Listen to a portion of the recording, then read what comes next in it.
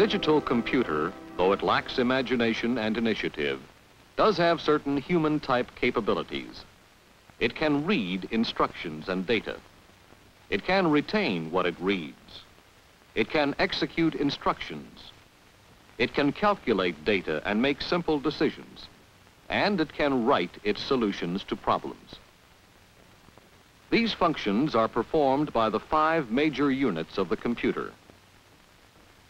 Input is designed to read, storage to retain, control to execute, arithmetic to calculate, and output to write. It is our purpose in this film to examine each of these, seeing the type of equipment used and its function. The input and output units are called peripheral equipment because they are on the outer edge, as it were, of the computer. They may be considered the links between the problem, the computer, and the solution. In a sense, this is so, but we must remember that an input medium and an output medium are necessary parts of the overall system. They are apt to be confused with the computer input and output units, but the distinction should be clear. The computer input serves to read the problem information carried by the input medium and translate it into electrical pulses for storage. Conversely, the computer output serves to write information, translating the output electrical pulses into output medium form, cards, tape, or printed paper. When the computer input reads the input medium information, the decimal numbers and other data are encoded into binary digits. One type of encoder is a rather simple circuit of four OR gates, with the input designed to receive the decimal numerals, one at a time. Each is converted to a 4-bit binary combination which can be stored. 2, for example, is encoded as 0010. 7 comes through this way.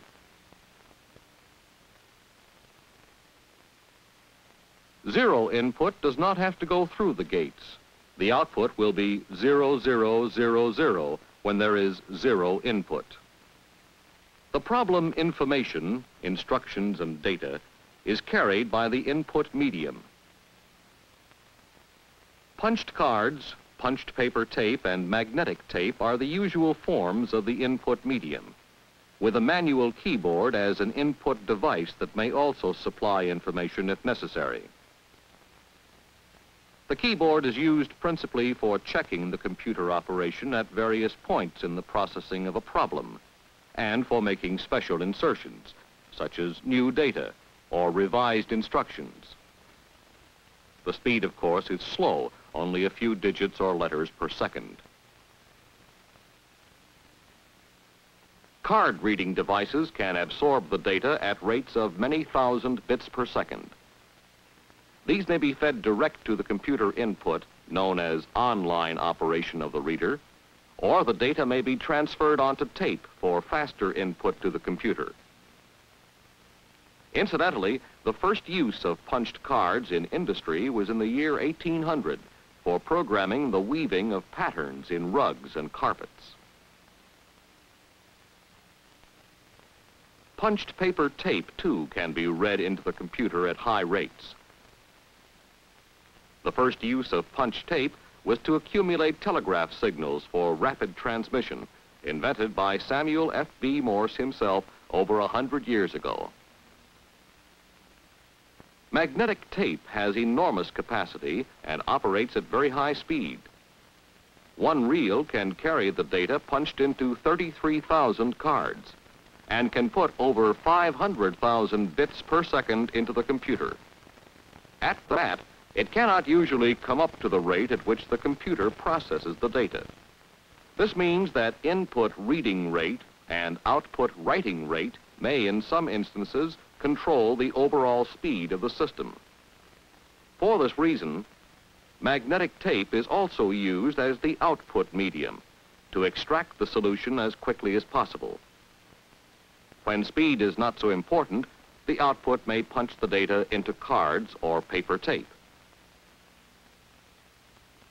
The electric typewriter used for input may also be used to print out the solution in human language. Its best speed, however, is about 15 characters per second, which is far too slow for voluminous data. High-speed printers have been developed for use with computers and output media. In this one, the numerals and other characters are on a moving chain.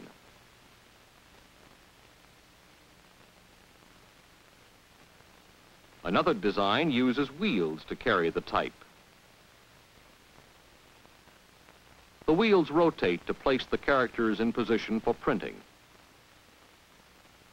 Another system prints by means of dots that originate within a matrix device.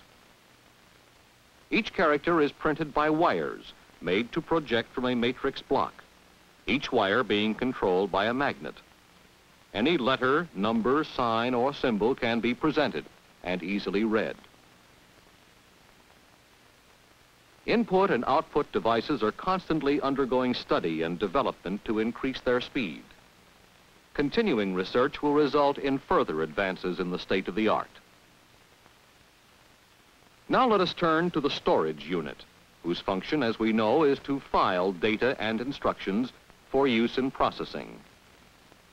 Symbolically, it resembles the array of mail and message boxes behind the desk of a hotel. Each cell is identified by a number called its address, such as 304, for example. This represents a small section of a storage unit, which actually may contain thousands of cells. Certain sections of the storage unit may be designated as registers for intermediate storage of data in process and other special uses. Instructions may be stored in consecutive addresses so that when each instruction has been executed, the advance to the next instruction can be made automatically by raising the address number one count.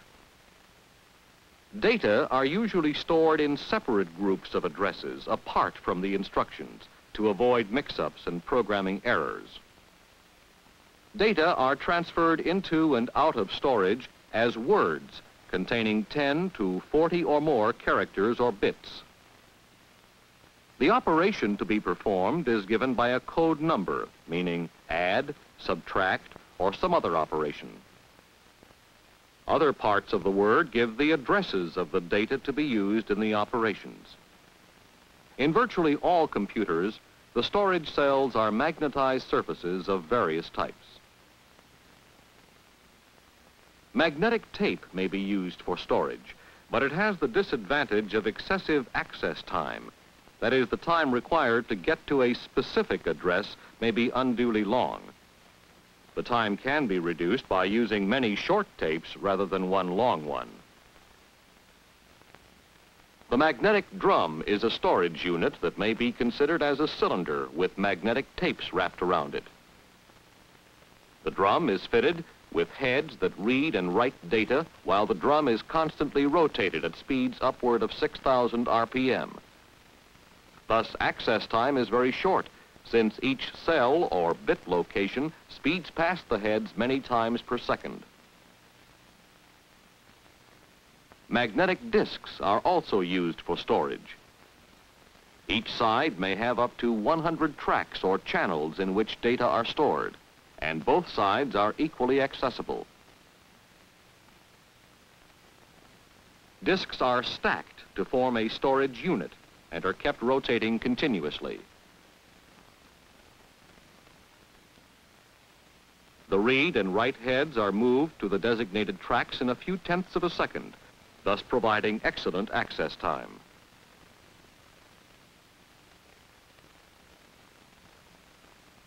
Since the access time is virtually the same for all addresses, they can be selected at random, which gives this type of storage its name, random access. In contrast to moving or dynamic types of storage units, computers may use static types. The outstanding one is the magnetic core matrix. It consists of small rings or cores made of ferromagnetic material strung on a network of wires. To see how each core operates, let's first thread a wire through one of them. The core's ability to store data is based on the fact that a pulse of current will magnetize the core to saturation, the polarity depending on the direction of the current. Binary 1 can be associated with one polarity, and binary 0 with the opposite polarity. Thus, binary data can be stored in the core. It holds the 0 or 1 magnetization until a reverse pulse switches it. A sensing wire is used to read out the state the core is in, 0 or 1 at any given time. A pulse of current in this direction will now switch the core's polarity, and the change of magnetic flux induces an output voltage or signal in the sensing wire. With the core in the zero state, another pulse in the same direction will not cause it to switch because the zero polarity is associated with this current. Therefore, there is no output signal. Thus, when the core is pulsed this way, the absence of an output signal indicates that zero was stored. Conversely, the presence of an output signal indicates that one was stored. Incidentally, since a one bit is lost when the readout process switches the core to zero, it is usually restored by putting a pulse on the output wire.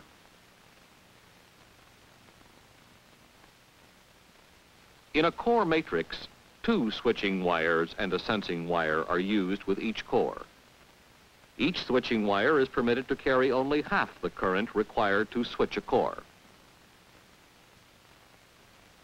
To switch a particular core, two switching wires are pulsed simultaneously, and the combined half currents switch the polarity of the core. The other cores on the two pulsed wires are not switched, since only half currents go through them.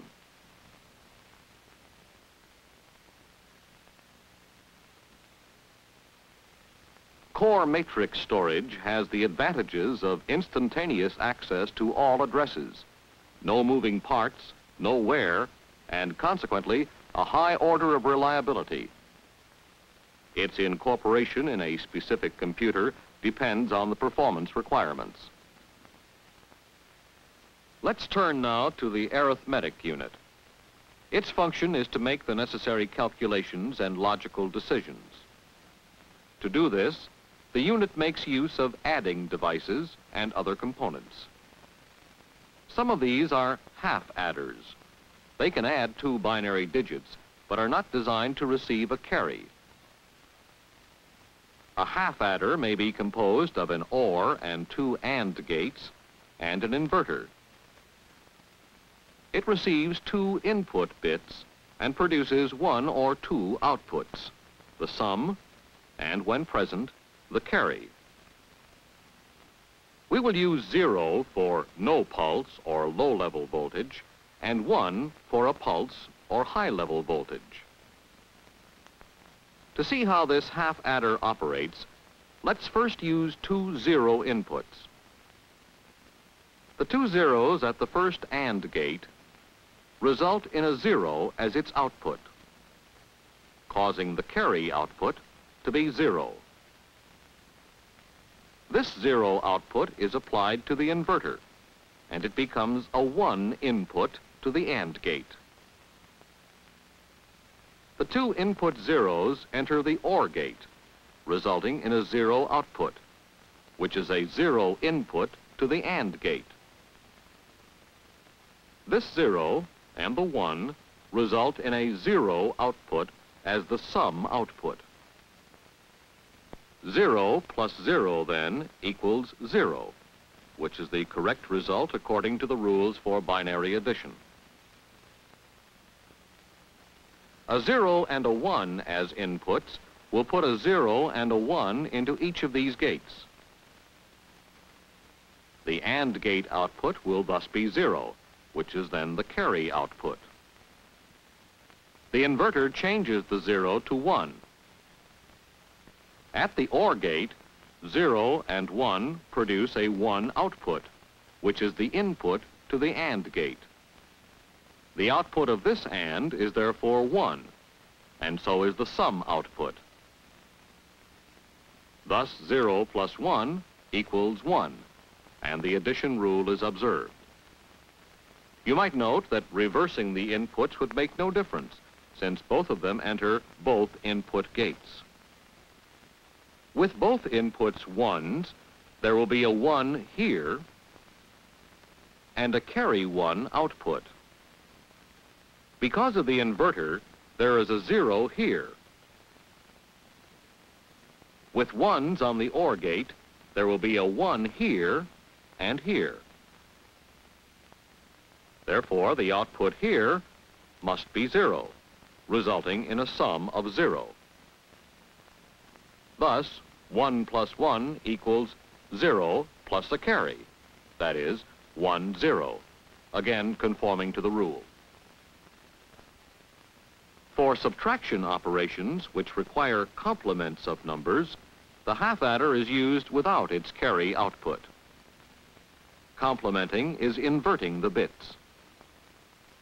The number to be complemented is put in, along with a train of single pulses called the clock pulses of the computer. With two ones as inputs, the sum output is zero. This is the complement of the input digit. A zero and a one entering together will result in a one output, the complement of the input. Thus, each bit is reversed as required. A half adder may also be used to show whether two numbers are identical.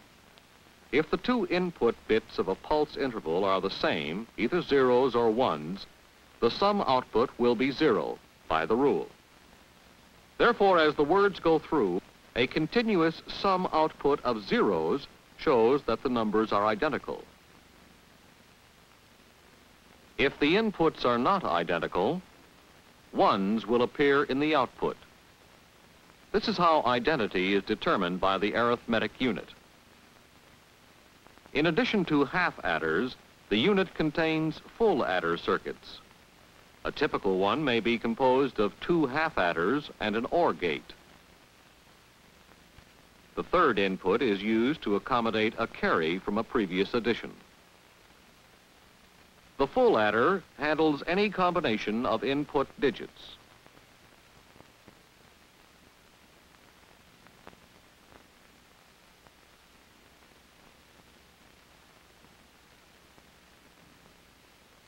Circuitry in the arithmetic unit appears to be complex, but it is actually made up of simple basic circuits.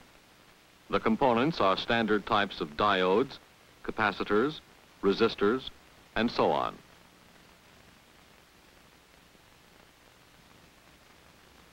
Now the control unit, the nerve center that makes the computer operate by automatically selecting instructions, interpreting them, and causing them to be executed.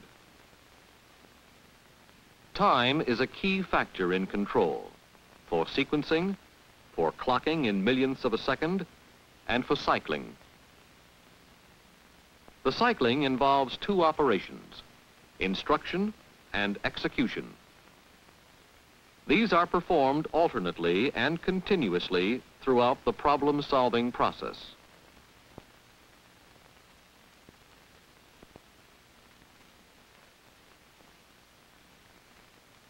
Let's follow a typical cycle by means of a simplified flow diagram. In addition to the cycle switching device, the control unit contains an instruction location counter an instruction register, a data address register, and an operation decoder. The arithmetic unit contains an accumulator, a register used for temporary storage of the results of computations. Let us assume that the storage unit contains 10-digit data and instruction words received from the input unit.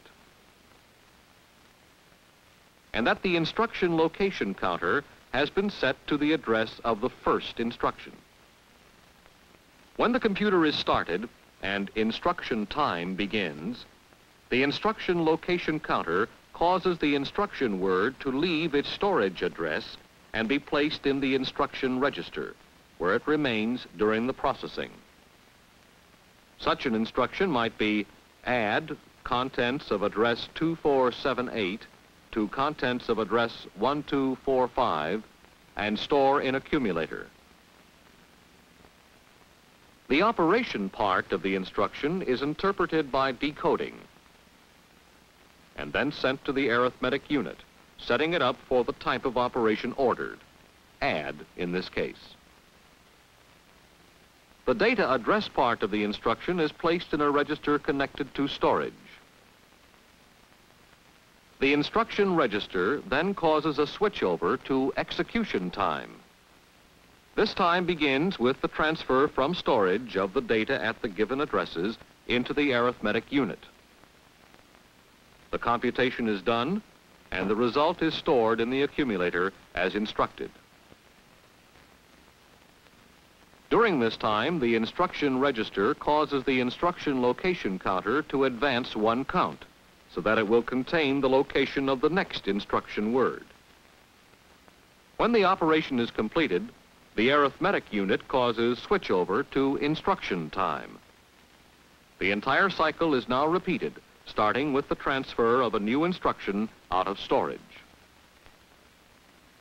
The instruction time is always the same for every cycle, since the instruction words are always the same length in a given computer. Execution time, however, varies according to the type of operation involved and may be long or short. The final instruction in the program calls for transferring the solution from the accumulator to the output. The control operation is, of course, much more complex than shown here. There are more components. Logical decisions may change instructions, and input and output are controlled. However, you have seen the basic procedure. Incidentally, the names of these components may vary from one computer system to another. The control unit circuitry, like that of the arithmetic unit, is made up of standard electronic components. If trouble develops in any unit, success in finding the source lies in an understanding of the logic design and the ability to interpret a logic diagram, rather than in trying to trace through circuit schematics. In this film, we have examined each of the five major units of a typical digital computer.